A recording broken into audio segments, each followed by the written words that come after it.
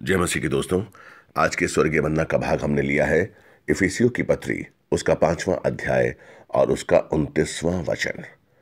वचन कहता है, कोई अपनी देह से घृणा नहीं करता, वरन उसका पालन पोषण करता है, जैसे कि मसीह भी कलीसिया का पालन पोषण करता है। धन्यवाद इस वचन के लिए। धन्यवाद पिता परमेश्वर, तूने कलीसिया की रचना की। दोस्तों, मैं जब इस वचन को पढ़ता हूँ, मैं क्या देखता हूँ? मैं देखता हूँ कि परमेश्वर ने यीशु मसीह के द्वारा जो कलीसिया की रचना की, वो क्यों की? क्यों यीशु मसीह ने 2000 साल पहले कलीसिया बनाई? ताकि हम उस कलीसिया में रहते हुए उस पिता को जाने, उस परमेश्वर को जाने, उसकी योजना को जाने। उस परमेश्वर, वो जो हमारा पिता है, हम उसकी संतान है, उसकी योजनाएँ क्या हैं हमारे लिए? वो क्यों उसने क्यों इस सृष्टि की रचना की? क्यों उसने यीशु मसीह को धरती पर भेजा? क्यों यीशु मसीह ने क्रूस पर बलिदान किया? क्यों यीशु मसीह ने कोड़े खाए? क्यों यीशु मसीह ने मरने के बाद, तीन दिन के बाद वो ज़िंदा हुआ? उसने मौत को हराया, उसने शैतान को हराया, अधलोक की कुंजियाँ हासिल की। वो क्यों हुआ? वो रहस्य क्या है? वो भेद क्या है? इसे जानने के लिए परमेश्वर ने यीशु मसीह ने कलीसिया का, कलीसिया की स्थापना की, उसकी रचना की। और इसीलिए उसने कहा कि कलिसिया में अधलोक के फाटक प्रबल नहीं होंगे। जैसे हम शरीर का पालन पोषण करते हैं, अपने शरीर को प्यार से, अपने शरीर के लिए हम बहुत कुछ सोचते हैं, उसको निखारते हैं, उसको संवारते हैं। उसी तरीके से बाइबल कहती है, वचन कहता है कि यीशु मसीह अपनी कलीसिया का पालन पोषण करता है। दोस्तों, अगर हम किसी कलीसिया से जुड़े हुए हैं तो हम निश्चित जाने कि आपका पालन पोषण निश्चित है, आपका फल निश्चित है। वो ज्ञान जो परमेश्वर आपको देता है, वो सुख जो परमेश्वर आपको देता है, हमें किसी न किसी कलीसिया से जुड़ना है। अगर हम किसी न किसी कलीसिया से जुड़े हैं, अगर हम किसी कलीसिया के परिवार का हिस्सा हैं तो हमें वहीं पर ईमानदारी के साथ रहकर, वफादारी के साथ रहकर, समर्पित मन से हमें वहाँ पर परमेश्वर के वचनों की सेवा करनी है। हमें जो अधिकार दिया गया है, क्योंकि कलीसिया उसकी देह है और हम उसके अंग हैं। हालेलुया। हम एक अंग बनकर हमें अपने अंग का पूरा पूरा काम करना है। हालेलुया। इसीलिए योहन्ना पंद्रह का पाँच कहता है, मैं दाखलता हूँ, तुम डालियाँ हो। जो मुझमें बना रहता है और मैं उसमें, वो बहुत फल फलता है, क्योंकि मुझसे अलग होकर तुम कुछ भी नहीं कर सकते। हालेलुया। हम कलीसिया से होकर, अलग होकर, हम यीशु मसीह से अलग होकर कुछ नहीं कर सकते।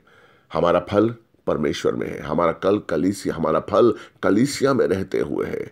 कभी कभी शैतान हमें वर्गलाता है। कभी कभी मैंने लोगों को देखा है कि लोग कहते हैं कि नहीं, आज मैं कलीसिया नहीं गया। आज मैंने टीवी पर आपका सुसमाचार सुन लिया। आज हमने अपने आप वाचा बाँध आज हमने अपने आप वचन पढ़ा। नहीं दोस्तों, हमें कलीसिया जाना है। उसकी आज्ञा है। वो विश्राम का दिन है और परमेश्वर की कलीसिया में रहते हुए उसके संग एक होकर उस वचन पर हमें पूरा ध्यान देना है, जो हमारा आत्मिक पिता, जो हमारा पासवान उस समय हमसे बोलता है। दोस्तों, मैं एक पासवान हूँ। कभी कभी मैं अपनी बुद्धि से कुछ विषयों को लेता हूँ और सोचता हूँ कि आज मैं कलीसिया में जाकर कहूँगा। लेकिन जब मैं कलीसिया में पहुँचता हूँ तो पवित्र आत्मा कुछ और ही मेरे द्वारा बुलवाता है। मैं समझ नहीं पाता हूँ कि ये क्यों हो रहा है। मैंने तो कुछ और सोचा था, लेकिन मैं कुछ और बोल रहा हूँ। लेकिन सभा के अंत में, दोस्तों, मुझे प्रमाण मिलता है। कोई बहन, कोई भाई आकर मुझसे कहता है कि, पासवान, ये वचन आज मेरे लिए था। आज इस वचन के द्वारा मुझे शुद्धता मिली। आज इस वचन के द्वारा मेरे जीवन में काम हो रहा है। मेरा जीवन परिवर्तित हो गया। इसलिए, दोस्तों, हम उसकी देह के अंग हैं। इसलिए मसीह जो कलीसिया का पालन पोषण करता है आप निश्चिंत रहें, आप चिंतित ना रहें। लोग कलिसिया जाते हैं चंगाई के लिए, लोग कलिसिया जाते हैं अपनी नौकरी पाने के लिए। अरे नहीं, कलिसिया है उसको जानने के लिए, उससे प्यार करने के लिए, परमेश्वर के करीब आने के लिए, उसको अपना बनाने के लिए।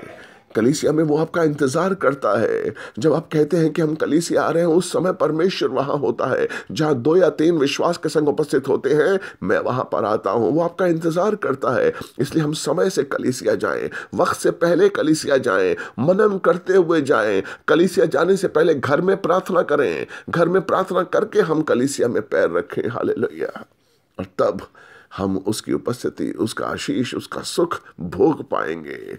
हम उसके अंग हैं और वो अपनी देह से प्यार करता है, वो अपने शरीर से, अपनी कलीसिया से प्यार करता है। कलीसिया उसकी दुल्हन है। इसलिए मेरे प्यारे भाई बहनों हमें कलीसिया से जुड़े रहना है। और हर रविवार, हर दिन जो निश्चित है कलीसिया के लिए, उसमें हमें पहले पहुँचना है। बाद में नहीं, परमेश्वर के बाद नहीं जाना है। परमेश्वर से पहले पहुँचना है और हमें अपने काम करने हैं ईमानदारी और वफादारी के साथ। क्योंकि मसीह कलीसिया का पालन पोषण करता है। मसीह हमारा पालन पोषण करता है, ये उसका वादा है। हाल वो हमारे जीवन में फल लेकर आता है। आइए दोस्तों, हम प्रार्थना करते हैं। धन्यवाद परमेश्वर इस ज्ञान के लिए। धन्यवाद पिता परमेश्वर, तूने ईश्व मसीह के द्वारा कलीसिया का स्थापना की और कलीसिया में हमें वो सुरक्षा मिलती है, हमें वो आशीष मिलता है, वो हमें ज्ञान मिलता है जो परमेश्वर तू देना चाहता है। धन्यवाद। आज की सुबह अद्भुत है परमेश्वर। मैं प्रार्थना करता हूँ सुनने भाई बहनों के लिए सुख और आशीष और बुद्धि और ज्ञान। प्रार्थना अपने सुनी कबूल मैं, मैं, मैं,